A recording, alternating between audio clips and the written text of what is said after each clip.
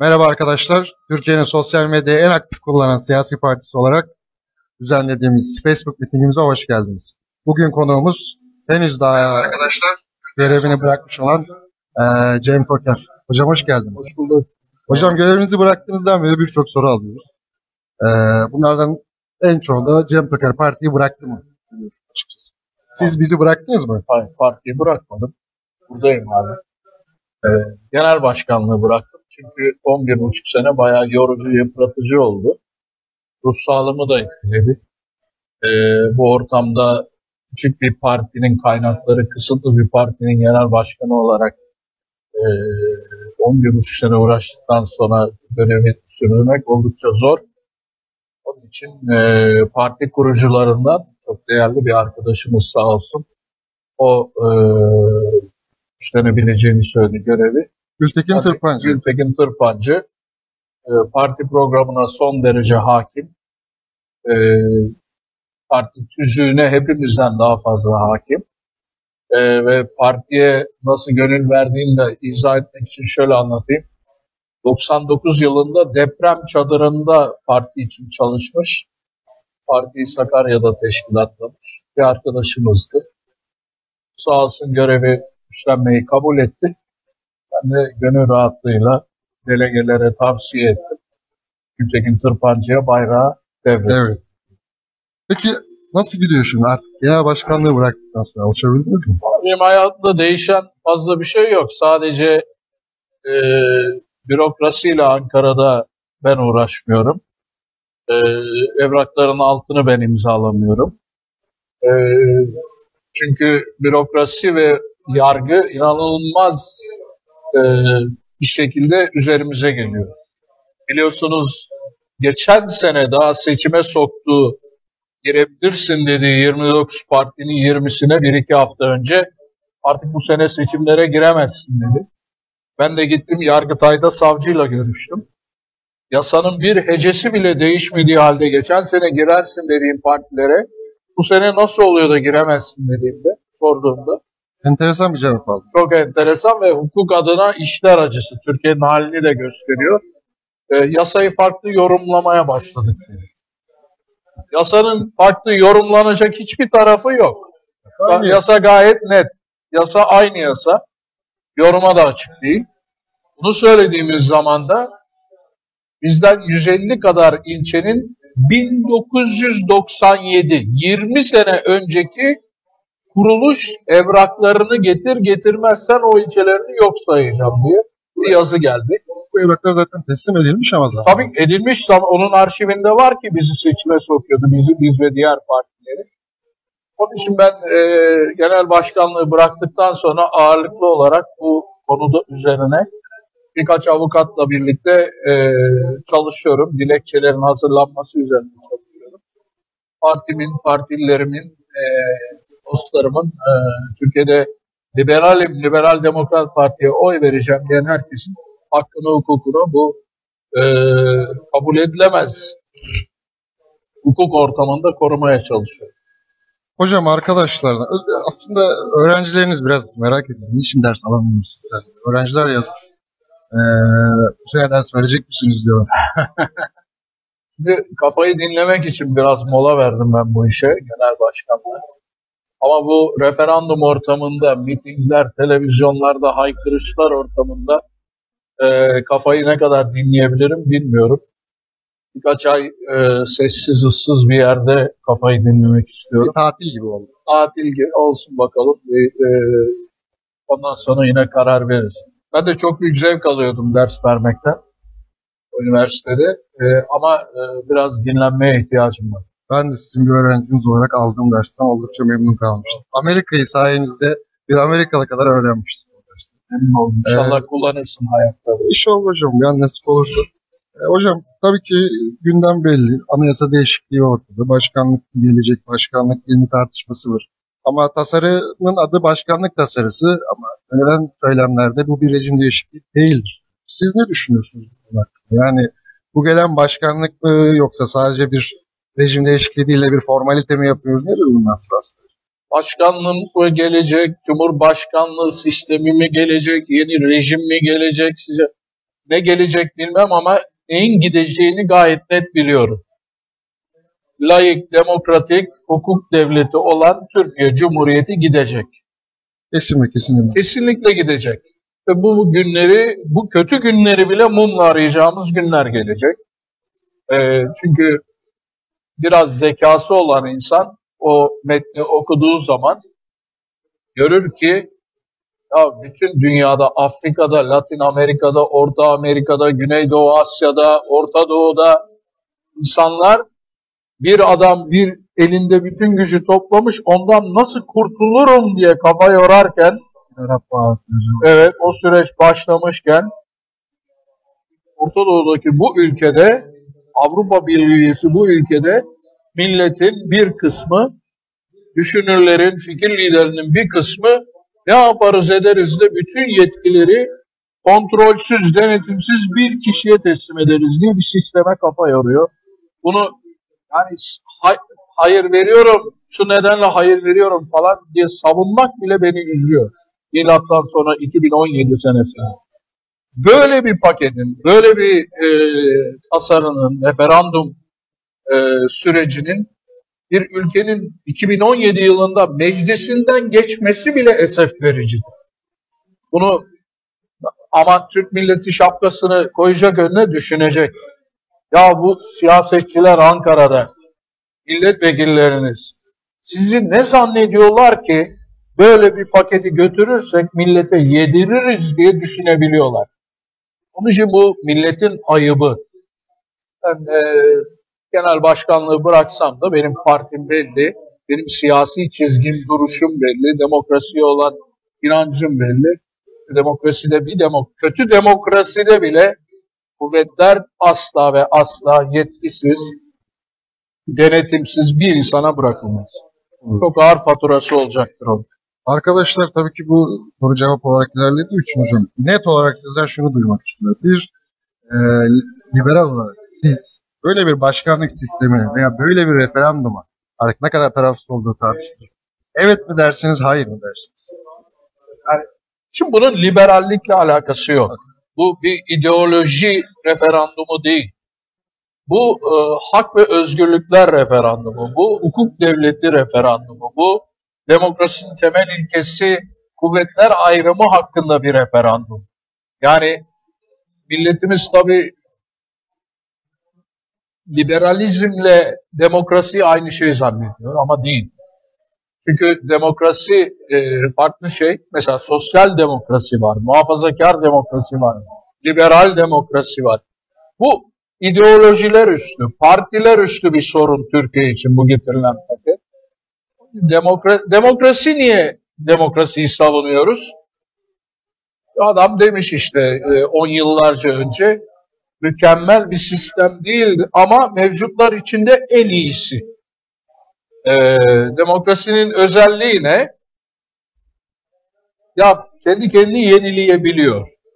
Bir hata yaptıysan sana o hatayı düzeltme fırsatı veriyor. Sandık koyuyor önüne. İşte e, adil, tarafsız yargı gözetiminde bir seçim fırsatı sunuyor falan. Onun için bu e, bu tasarı demokrasiyi e, ortadan ilkelerini ortadan kaldırmaya yönelik bir tasarı. Onun için bunun liberali, sosyal demokratı, muhafazakarı, şu, yani saadet de hayır diyeceğim diyor. En liberal, işte pek liberal parti biziz, biz de hayır diyeceğiz diyoruz. Ortadaki merkez sağ partiler de, sosyal demokratlar da hayır dediği için bu e, bir ideolojiler üstü bir e, bakış açısı gerektiriyor. Peki hocam, e, şimdi referanduma giderken, diyelim ki dermi çatma bir demokrasi içerisindeyiz ama yine de adı demokrasi olan bir sistem. Bu sistemin içerisinde referanduma giden vatandaşlara işte bir tarafın vereceği cevaba göre ithamlarda bulunmak veya onları bir köşeye sıkıştırmak sizce ne kadar demokratik veya ne kadar etik olabilir? Ya o etik olmayabilir ama herkesin de hakkıdır. Yani ben ben de evet vereceğim diyen adama pek saygı duymuyorum. Yani bu bu paketin içeriğine bakarak söylüyorum bunu. Sen bütün yani apartman yöneticine vermeyeceğin yetkiyi çocuğunu yetiştireceğin ülkenin yönetiminde bir adama. Bu Erdoğan olabilir, başkası olabilir. Yani Cem Toker de olsa bana vermeyin kardeşim böyle yetki. Böyle yetki verilmez. Bu demokratik değildir. İstemiyorum demesi lazım aklı başında bir insanın. Onun için böylesine e, bir yetki sadece bir kişiye bakarak işte ben Recep Tayyip Erdoğan hayranıyım. Kadın çıktı gazeteci işte. Erdoğan için getirirsin bu yetkiler ondan sonra geri alınsın falan diyor bu sisteme. Böyle saçmalayan bir millete, şey, fikir liderlerine ve bu fikir liderlerinin peşinden giden millete herkes saygı duymak zorunda değil. Ben de değilim. İşte duysun. Onu da eleştiremem ama. Peki hocam şimdi referandumdan sonra ihtimal diyelim hayır çıktı. Erken seçim olma ihtimalini e, düşünüyor musunuz? Hocam şimdi e, ona da çok kafa yoruyorlar. Saatlerce tartışıyorlar. Evet mi çıkacak, hayır mı çıkacak? Bir kere adını koyalım. Türkiye Cumhuriyeti Dünya Demokrasi sıralamasında 98. Ha, bir grup var ki onu işte Allah'ın belası gavurlar, bizi çekemeyen kıskançlar, mahsus bizi 98. yapar. O hiç öyle değil kardeşim.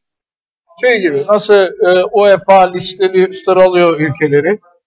Sen işte Avrupa Şampiyonası'na gidemezsen altı basamak düşüyorsun bir anda. Gidip dandik bir takıma yenildiğin zaman Bosna gidiyor sen gidemiyorsun falan. 20 basamak daha düşüyorsun. Demokrasi sıralaması da öyle. Bakıyorlar senin sistemine ve aşağılara düştükçe düşüyorsun. Onun için Türkiye yani dünya 98.si olan bir ülkede demokraside iktidar partisinin önerdiği hiçbir referanduma hayır çıkmaz.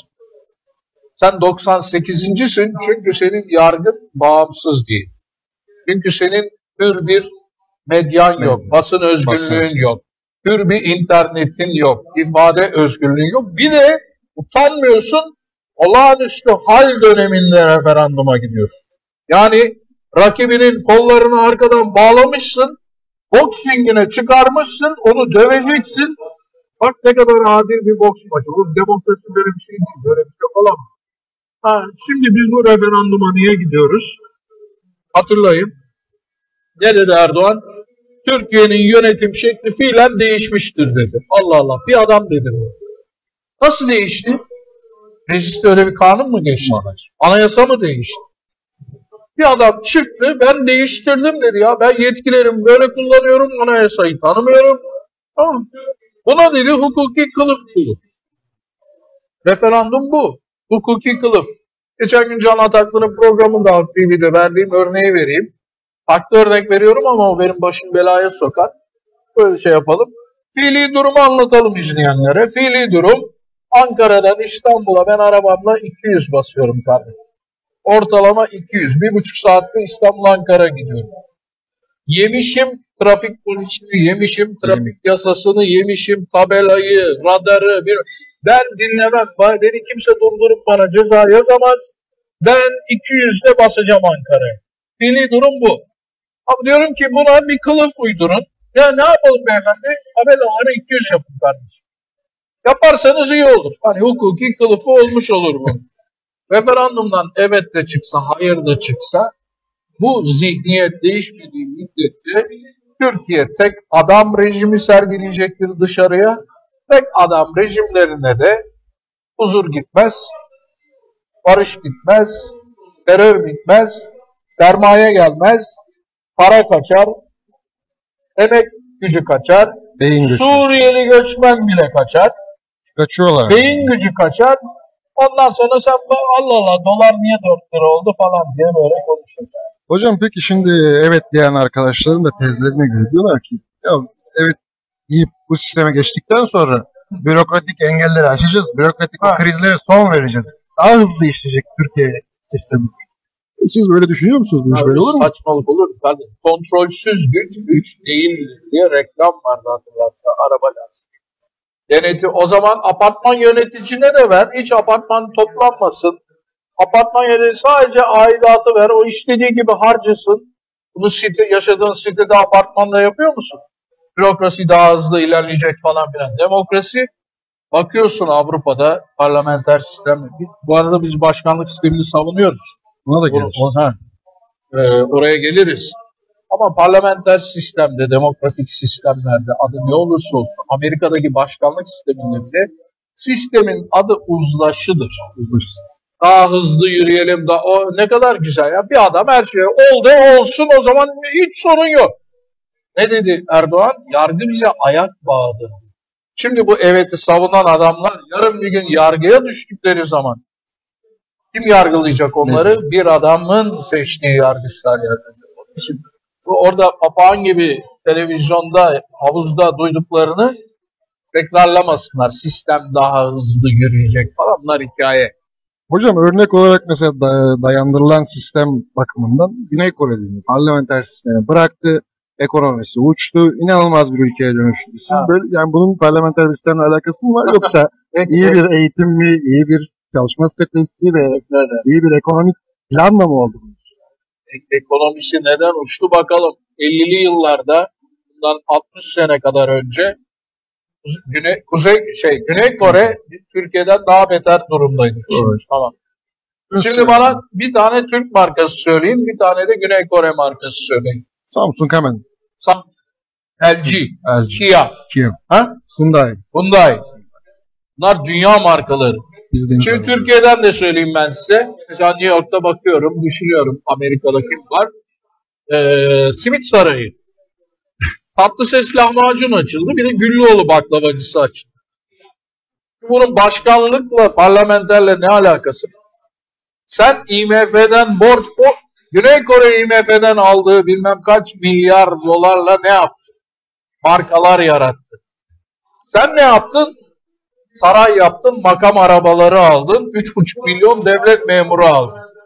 Aldığın borç parayla bunları israf ettin, Adam dev fabrikalar, dev yatırımlar, Ar-Ge'ye yatırdı, dünya markalarını oluşturdu. Dünyaya Sonra şimdi dal toplatıyor. Çin'e rakip oldu, Japonya'ya rakip oldu. Onun için geçsinler buraları.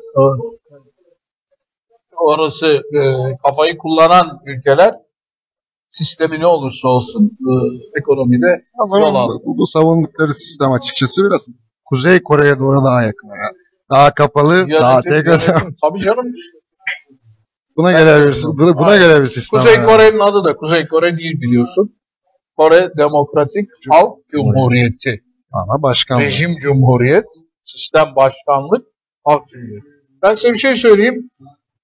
Evet çıktığının ertesi günü Türkiye sefalet açısından söylüyorum. Mübareğin mübarek döneminin Mısır'ı olacak. Bu ne demektir? 1981-2011 30 sene Mısır'da Cumhurbaşkanlığı seçimi oldu.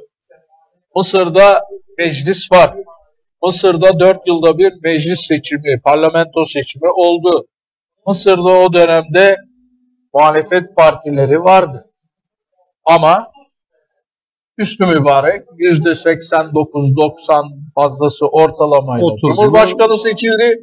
81'de, 87'de, 93'te, 99'da, 2005'te meclisin %80'ini 90'ını mübareğin parti partili Cumhurbaşkanıydı mübarek. ha, Mısır'da siz Mısır ekonomisinin hiç düzeldiğini duydunuz Maalesef. Ben gittim üç defa Mısır'a. Mısır'da değişmeyen bir şey vardır. Ekmek fiyatı. Dikkat edin 10 senedir Türkiye'de de ekmeğin fiyatı değişmez. Fırıncılara gidin sorun. Ekmeğe asla zam gelmez. Millet kuru ekmekle karnını anca doyurabiliyor. Onun dışında Mısır olacağız. Mısır sefaletine doğru gidiyoruz. Evet'i verin, verin de görün.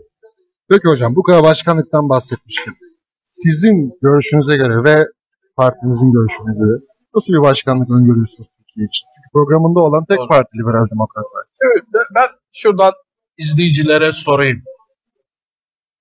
Türkiye'nin bir yönetim, yürütme erki yani iktidarın istediğini yapabilme sorunu mu var? Yoksa Türkiye'nin bir yasama yani meclis yani milletvekili yani milletin temsilcileriyle ilgili bir sorun mu var? Vekilini bulamıyor diyorsunuz. Vekili ha. Daha 13-15 ay önce sandığa gitti. Bizi izleyenler bütün Türk. Şimdi bana bir Allah kulu çıksın desin ki ben 1 Kasım seçimlerinde beni Ankara'da temsil edip ayda 30-40 milyar maaş verdiğim adamın kim olduğunu biliyorum. Başım sıkıştığı zaman iktidarın bir herhangi bir bakanlığında bir genel müdürlükte bana yanlış yapıldığı zaman ben vekilimi telefonunu biliyorum, arıyorum. Yaşadığım yerde irtibat bürosu var, ismen biliyorum. Ona gidiyorum derdim. Bunu diyebiliyorsanız Türkiye'de yasamayla ilgili hiçbir sorun yok. Seçtiğiniz milletvekillerinin asli görevi kanun yapmak değildir. İktidarı, bakanları denetlemektir. Sizin adınıza, millet adına denetlemek. Yani bakanı çağırıp, kardeş bütçe görüşmesinde para istedin, para. Yetki istedin, yetki. Makam arabası istedin, verdik. Evet. Bina istedin, verdik. Personel dedim, verdik. Peki Adalet Bakanı cezaevi aracı niye yandı? Üç tane mahkum içinde alev alarak yandı. Niye on numara motor yağı kondu ona? TOKİ Bakanı yepyeni evleri Samsun'da niye sen bastı bebekler öldü? Savunma Bakanı Afyon'da cephanelik niye nasıl patladı? Evlatlar oraya emanet mi? Bunların ve benzeri Soma, Soma niye patladı? Çalışma Bakanı hangi müfettişin denetledi? Maaş verdik herife. Denetle diye. Sorumlusu nerede bunun? Bilen var mı? Yok. Bilen var mı? Yok. Onun için e, başkanlık sisteminde güzel bir şey oluyor bakanla milletvekili yürütmeyle yasamayı birbirinden ayırıyor. Burak Kuzu ne diyor şeyde e, yolsuzluk komisyonunda ya diyor bunlar bizim bakanlar hakkında Ar milletvekili diyor ki bunlar bizim partiden kankalarımız diyor. Arkadaşlarımız. Şimdi arkadaşlarımız yüzlerine nasıl bakarız diyor eğer Yüce Divan'a gönderirsek. Demek ki Türkiye'nin sorunu iktidarı yani site yöneticisini denetleyemeyen bir malikler, kat malikleri. Onun için Türkiye'nin sorunu başkanlık sisteminden önce seçim sistemi. Seçim. Millet seçtiği adamı tanımıyor, seçilen adam milleti tanımıyor. Sadece genel başkana bakıyor, emir kulu, kolunu kaldır, kolunu indir. Grup kararı emredersiniz, itiraz edersen kapının önüne koyulursun. Bu sistemde öncelikli şey bizim savunduğumuz başkanlık sisteminde mutlaka ve mutlaka seçim sistemi değişerek dar bölge, dar iki turlu dar bölge seçim sistemine gelip başkanı denetleyebilecek bir e, parlamento oluştuktan sonra bunların getirdiği sistemde ne? Sen sen sen sen ben seni seçtim şey ol milletvekili ol sonra diyor ki efendim meclis isterse beni yargılayabilir şeye gönderebilir denetle hikaye anlatıyorlar millete. Millet de bunu biliyorsa helal olsun. Pekala hocam. Arkadaşlar ısrarla soruyor. Peki hocam diyor vaziyet böyleyse hiç mi umut yok bizim için? Valla umudu olan bana yazsın kardeşim. Bana bak bizi izleyenler akıllı adamlar. Evet. Ee, bana yazın kardeşim ben bulamıyorum. Tünelin ucundaki ışık nereden gelecek bilmiyorum. Ha, siz bana diyeceksiniz ki evet diyorsunuz siyasetçinin görevi umut vermektir ama masalda anlatamam size kardeşim. Yani yok ben göremiyorum. Hani yargı var desen Yargı nerede? Kay toplamaya gittiler. Yüksek Seçim Kurulu kimlerden oluşuyor? Yargıtay ve Danıştay üyeleri üst bilmem kaçıncı sınıf hakimlerden oluşuyor. Bunlar nereden geldi? İşte başkanları çay toplamaya gitti. 2016'da 8 üyesi değişti. Yüksek Seçim Kurulu'nun. Tak 2015'te seçime girenlere hayır efendim bu sene giremezsin. Farklı yorumları.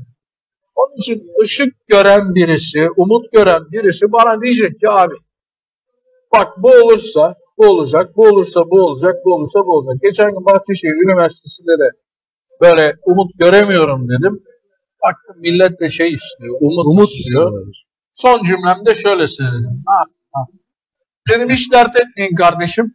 2019 yılında seçim var mı? Var. 2019'a kadar 10 milyon AK Parti seçmeni, bugüne kadar her seçimde AK Parti'ye vermiş seçmen, eğer oturup Halk TV seyrederse, Sözcü gazetesi okursa 2019'un 10 milyonu, ya der ki ulan biz ne büyük hata yapmışız ya. CHP varken, Kılıçdaroğlu varken gitmişiz Erdoğan'a partisine oy vermişiz. Dostoyevski falan şey onlara bakacaklar şeylerine. Tamam abi biz fikir değiştirdik. Bundan sonra AK Parti'ye oy veren ellerim kırılsın. Bundan sonra ben oyumu CHP'ye veririm derse Bu iş çözülmüş. çö- bu iş çözülmüş. AK Parti iktidarından kurtulur. Umut var. Ha, o umut var gördüğün gibi 10 milyon insan. 10 milyon insanı değiştirirse- Halk, TV'yi izletebilirsek belki. umut Yarım saat sonra güneşin doğma umudu gibi bir şey. Oh, bu akşam onda. Hocam parlamento ile ilgili şimdi az önce başkanlıkla konuştuk herhalde yeni gelen arkadaşlarıyla mı sorun? Ee, diyorlar ki bir senato sistemiyle e, parlamentoyu güçlendirmek mümkün mü? Siz bunu önerir misiniz? Ben öneriyorum. Senatoyu Türkiye'de öneren tek parti biziz. Başka kimse ağzına almamıştır. Hayır diye, hayır vereceğiz diyen CHP, Saadet, öbürleri de. Senato niye önemlidir? Bir kere iyi bir demokrasi istiyorsanız ülkenizde gücün bir kurum veya kişide odaklanmamasını, toplanmamasını istiyorsanız gücü ve yetkileri mümkün olduğunca böleceksiniz. Yasamayı da böleceksiniz. Yani popülizmle seçilmiş, kahvede gidip yarım saat konuşup işte 3 saatte Şam'a gireriz. 5 saatte Emevi Camii'nde Cuma'yı kılarız falan filan. Bu coğrafyada böylesine popülist siyasete yer yok. Bu o, tabii olacaktır. Meclis varsa olacak. Halkın içinden temsilciler seçiyorsan ama bunu dengeleyecek yasama erkini her, bak, her demokraside var. Amerika'da, Hollanda'da, Almanya'da, İngiltere'de, Fransa'da, İtalya'da, Kanada'da, Japonya'da her ülkede kendine adam gibi demokrasi diyen her ülkede senato var. Bir şey biliyorlar ki var. Sen bunu niye ağzına bile almıyorsun? Çünkü bir başka engel daha çıkar önüme diye korkuyorsun. Onun için seçkin e, daha farklı eğitim görmüş, e, popülizme kapalı, e, bilhassa dış politika konularında e, halkın duymak istediğini değil, duyması gerekeni söyleyecek. Yine halk tarafından seçilmiş bir e, şey Amerika'daki Almanya'daki Lordlar Kamerası hem faydalı olabilir diye inanıyorum. Hocam e, çok hoş, enteresan bir soru geldi. Bugün biliyorsunuz SpaceX diye bir firma e, uzaya bir roket gönderdi. Evet. Onu da aslında şu an biraz sapmış oluyoruz ama e, aslında bizimle de çok alakalı. E, bu arkadaş, Elon Musk, Musk denen bu arkadaş uzaya bir uydu bıraktı. Aynı roketle, uyduyu bıraktı, roket tekrar dünyaya indi ve herhangi bir pislik bırakmadı. Şimdi arkadaşlar soruyor ki, e, ya bu SpaceX bizim TÜBİTAK gibi bir firma. Niçin bizim TÜBİTAK sadece papaz eriğini imam eriğine çevirmeye çalışıyor da böyle projeler üretmiyor? Yani bunda eğitimin katkısı nedir? Buradaki sistemin bu işi yozlaştırmasının payı nedir sizce? TÜBİTAK'a haksızlık etmeyelim. Çünkü kapağını açınca hamdolsun verdiğin nimete diyen ekmek kutusu da yaptılar biliyorsun. Evet. Papaz eriği diye dalga geçmeyelim. Böyle başarılı icatlara da e, şey yapıyor. E, hikaye ne biliyor musun? Makas açılıyor. E, papaz eriği mi, imam eriği mi tartışması yapanla ilkokul çocuğuna daha 5 yaşındayken hayal kur çocuğum diyen ve e, bilgisayar oyunu oyna, yeni oyunlar bulmaya çalış diyen toplumlar makas böyle açılıyor. Onlar Mars'a gidiyorlar, ciple dolaşıyorlar. Sen de işte burada kendi şeyinde öfke içinde Öfke içinde e, sağa sola şey- saldırmaya e, devam Zaten Orta Doğu ile Avrupa'nın da hikayesi o. Avrupalı, Batılı, Amerikalı e, insansız hava aracıyla gidiyor. E, 10 bin kilometre öteden düğmeye basıyor, tak tepene inebiliyor.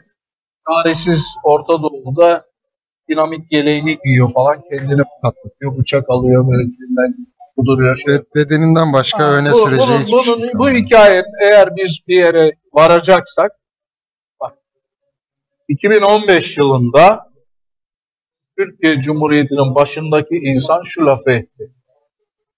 TÜBİTAK'ın papazeri hikayesini de buna bağlayabilirsin. Anaokulundan itibaren belli bir hayat tarzı öğreteceğiz dedi.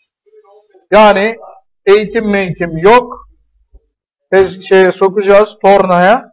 Buradan sokacağız. Buradan tek tip insan çıkıyor. Tek belli bir hayat tarzı. Kuzey Kore. Demin verdiğin örnek bu. Öte yandan Batılı da diyor ki farklı düşün. Farklı hayal kur. Bütün icatlar oradan çıkıyor. Bütün e, gelişmeler, inovasyon oradan çıkıyor. Yeni silahlar oradan çıkıyor. Yeni işte şunlar, şu aletler bunlar her şey oradan. Onun için de bu kafayı değiştirmezsek ben tek tip adam yaratacağım, belli bir yaşam tarzında adam yaratacağım diye düşündüğümüz müddetçe bu makas daha da açılacak. Biz de burada öfke içinde birileri farklı yaşayacak. Biz burada hayatta kalmaya çalışacağız. Onlar yaşayacak, biz hayatta kalmaya çalışacağız. Bu aslında biraz da hocam artık düşüncenin e, ahlaki boyutta değişmesini gerektiren bir durum. Mesela geçen bir araştırmada gördük. Avrupalı, batılı diyelim daha doğrusu. Batılı düşünce sistemiyle doğu sistemi. Batılı düşünce sisteminde hedefe doğrudan gitme var. Doğulu düşünce sisteminde ise artık bu coğrafyada ahlak olabilir. O hedefte kim varsa onu tanımak için araya tanıdıklar sokma mantığı var. Bu acaba TÜBİTAK örneğindeki e, bu, bu aksaklıklardan biri olabilir mi? Olabilir, bu da olabilir. Be- Benim daha benim sevdiğim bir söylem daha vardır. Doğulu masala inanır, batılı masalın içindeki gerçeği arar diye. Ya Onun için bana geçen gün üniversitedeki siyaset okulunda ya bize güzel şeyler söyle. Masal yani masal anlat diyor. Masala inanmak istiyorum. Yok abi. Ben de yok. Masal anlatacak adam değilim ben. Masalı anlatıyorlar işte miting meydanlarında. Dinleyen çok, alkışlayan çok, inanan çok. Geldiğimiz yerde burası. Bir senato bile olmayan bir parlamento kurulacak. Aynen. Ayrıca sayı da arttırıldı biliyorsunuz. Net bir Evet. evet. 600. MHP baraj altında kalırsa merak etme. veririz. Şeysi o. Şey hocam şey, bu yaşın, seçilme yaşının küçültülmesi sizin için uygun mudur? Partimiz çünkü bizim dinamik ve genç bir kadrosu Ben var.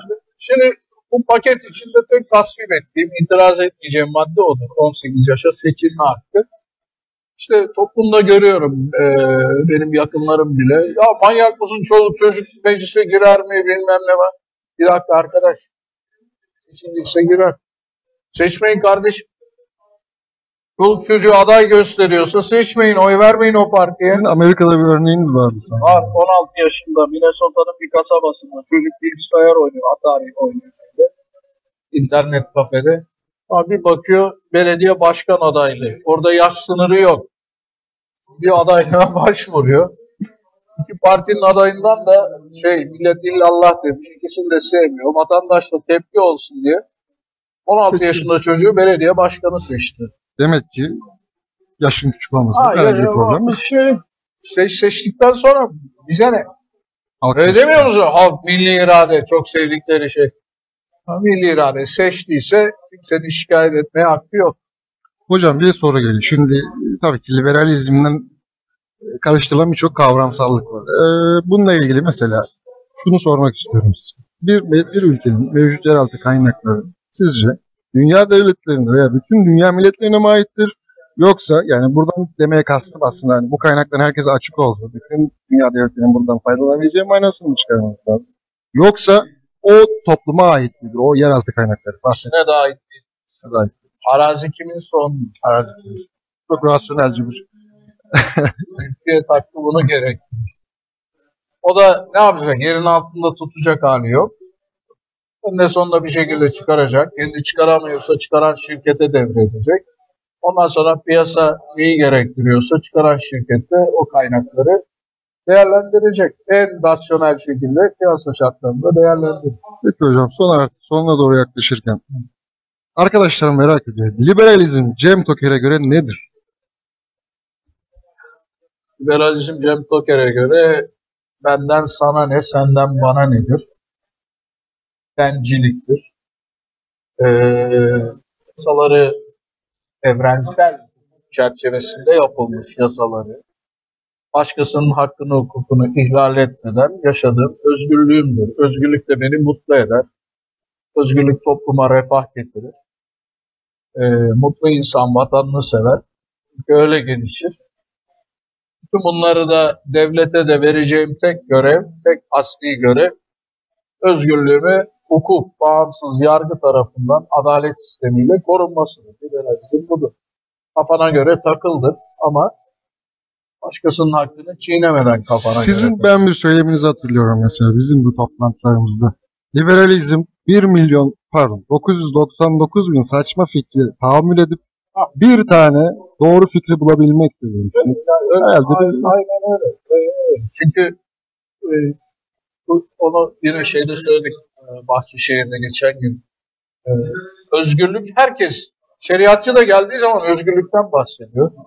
En e, marjinal partiler de geldiği zaman sağcısı, solcusu, sosyal demokratı, dincisi, muhafazakarı, milli herkes özgürlük diyor. Ama liberaller sadece bizim gibi düşünmeyen adamın özgürlüğü çok kutsaldır. En önemli şey odur. Mı? Evet. Saddam'ı alkışlamak tabii özgürlük değildi ki. Yuhalamak özgürlüktür. Evet. Hitler'i yuhalayabilmek, eleştirmek özgürlük. Sen bunu verdiğin zaman aykırı düşünceye fırsat veriyorsun. Ve aykırı düşünen insanlar insanlığı geliştirmiştir. Dünya düz değildir, gerizekalılar yuvarlaktır diyen adama neler yaptılar.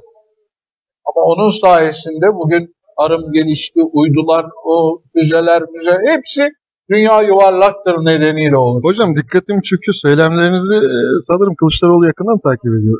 Bu söyleminizi o da söyledi. Ee, etsinler, faydamız oluyorsa ne mutlu bize. Peki hocam başkan seçildiniz diye. Size aday gösterdik ve sizi Türkiye milleti başkan seçti. İlk yapışlar şu mevcut sistemde evet geçti diyelim. Ve eskaza siz seçildiniz başkan. Evet. Sizin yapacağınız ilk iş ne olur? Yani bizim sistemde başkanın kanun yapma yetkisi yok. Onun için eğer partili başkansam kendi partimin milletvekillerinden rica ederim. Ne kadar özgürlük sınırlayıcı, kısıtlayıcı, yasaklayıcı yasa varsa torba yasayla hepsini yürürlükten kaldırıp millet bir ok çeksin. Torba geleneği devam edecek diyorsunuz. Ok parasını tasarruf etmiş oluruz. Kolay bir gecede eee, ne kadar dediğim gibi sınırlayıcı, kısıtlayıcı, devleti büyüten, eee hantallaştıran, özgürlükleri ortadan kalan yasa varsa onların hepsini yürürlükten kaldırın der. Özgürlük demişken hocam. Peki az önce de söylemediğinden bahsettik. İnsanlar aykırı fikirlerini dile getirmelidir dedik. Küfür etmek bir özgürlük müdür? Bence evet. Özgürlük. Pek kolay anlatamıyorum bu mesajı ama eee, lan bu adam ne saçmalıyor diyenlere soralım bakalım. bizi izleyenler arasında bir tane ben hayatımda küfür etmedim diyen adam var mı? Küfür ihtiyaç kardeşim. Küfür ihtiyaç. Her, Samimiyet her toplumda, her dinde, her eğitim düzeyinde, kadını erkeği, her ülkede herkes an gelmiştir, küfür etmiştir. Onun için küfürü ifade özgürlüğünü alıp ben de sana aynısını iade ediyorum deyip arkanı dönüp yürümek. Bu sabah bana birisi küfür etti Twitter'da. Ediyorlardı. Bize de ediyorlar. Ama şeyle girdi.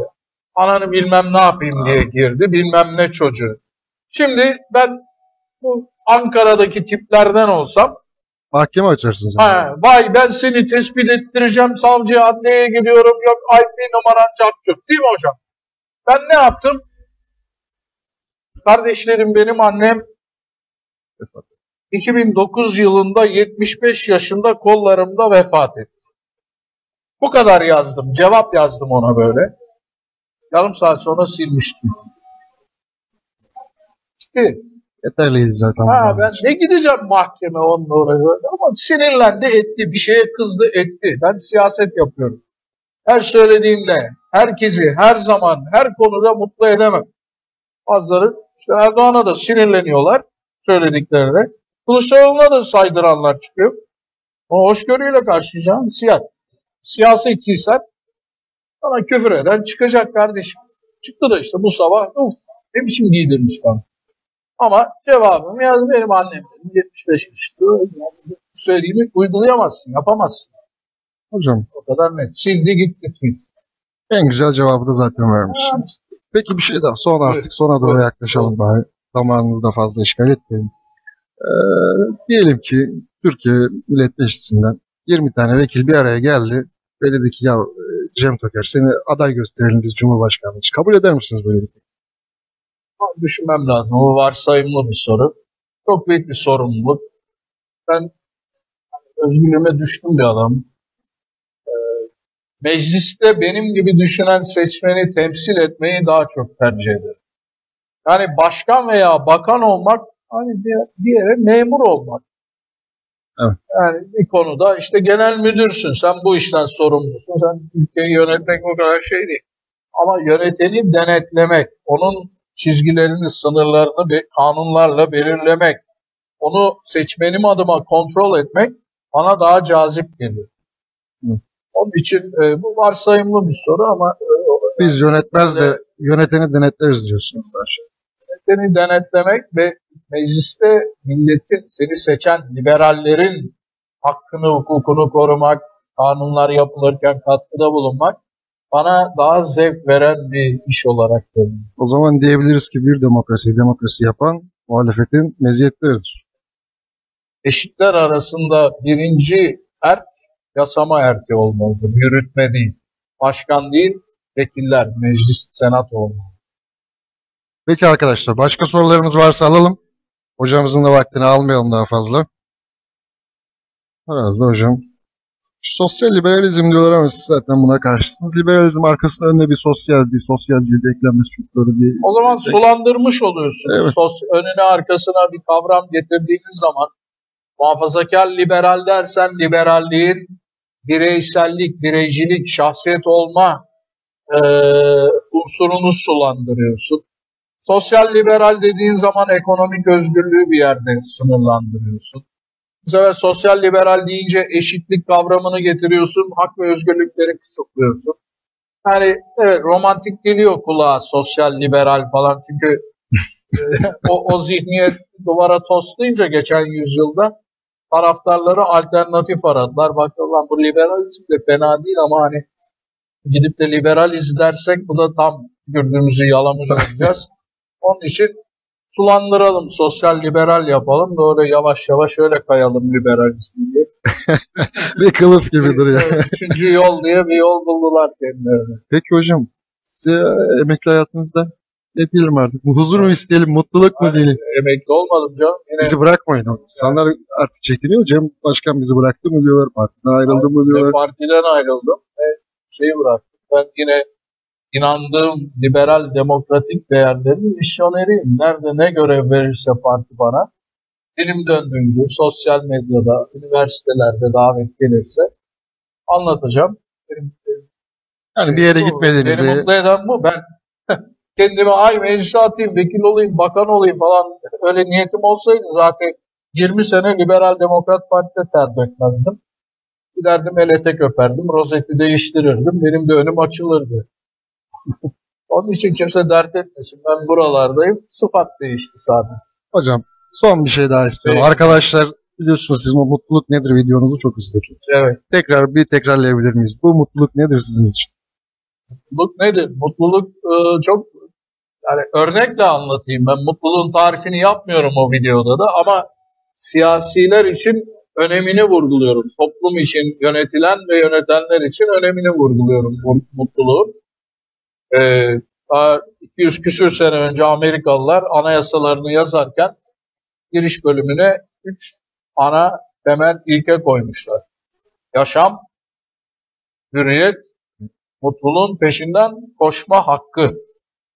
Avrupa Birliği'nin 27 ülkesinin ortak marşının adı mutluluğa Mutluluk. övgü. Mutluluk siyasette, batı demokrasilerinde, hür dünyada önemli bir kavram. Ama bu toplumda lanetlenmiş bir gün. Mutluluk. Devlet senden vesikalık istiyor, veriyorsun, sırıtma lan diyor. Ciddi resim ver burada. Ne sırıtamazsın devlete verdiğin şeyde. Ee, işte kadın kadın gibi gülme falan filan böyle. Ee, onun için ben mutlu mutlu olmayan toplum, e, mutlu, mutsuz insan vatanını sevmez. Ee, onun için mutluluk neyse, kimi ne mutlu ediyorsa onu serbest bırakacağız. Mağduru olmayan suç olmamalı. O- ben, ben o konuda çok şey, özgürlük en büyük mutluluktur. Özgür insan kendini mutlu hisseder. Ee, özgürlüğü alınmış insan boğuluyor gibi hisseder, bağlanmış hisseder. O bizim açımızdan kabul edilebilir bir şey değil. Özgürlükleri mümkün olduğunca serbest bırakılır. Peki hocam liberal adaylarına veda etmeden önce önereceğiniz bir kitap var mı Atilla Yayla dışında? Atilla Yaylı'ya haksızlık olur aslında. Liberal Düşünce Topluluğu'nun sitesinde önerilen kaynaklar güzel kaynaklar. Ben Atilla Yayla ile benim sorunum Atilla Yayla'nın söyledikleriyle ilgili değil. Atilla Yayla liberalizmin tarihini, felsefesini gayet iyi bilir ve anlatır. Benim sorunum Atilla Yayla'nın söyledikleriyle değil, söyleyemedikleriyle, söylemeye çekindikleriyle ilgili. Dün söylediklerini, AK Parti iktidarından önce söylediklerini, AK Parti iktidarından sonra söylemeye çekindikleriyle ilgili. Onun için kaynak arayanlar gerçekten liberal düşünce topluluğunun çevirileri, dünya literatüründen e, kitapları, alıntıları güzel bir kaynaktır. Atilla Hoca da yani bir yargıç gibi tarafsız ve bağımsız, nasıl Tamam. yargıçlar adaleti, hukuku savunmalı, tarafsız bir bağımsız bir şekilde. Bir liberal düşünür olarak liberalizmi tarafsız ve bağımsız. Ee, yine yargıç örneğinden gidelim. Cüzdanla vicdan arasında sıkışmadan anlattığı zaman dinlemeye doyum olmaz Atilla Yayla. Teşekkür ederiz Ben hocam. teşekkür Güzel, ederim. Sağ olun. çok sağ olun. Herkese teşekkür ederiz arkadaşlar. Gelecek hafta başka bir konukla mitinglerimize devam edeceğiz. İzlemeye devam edin. lütfen. Hepinize iyi akşamlar.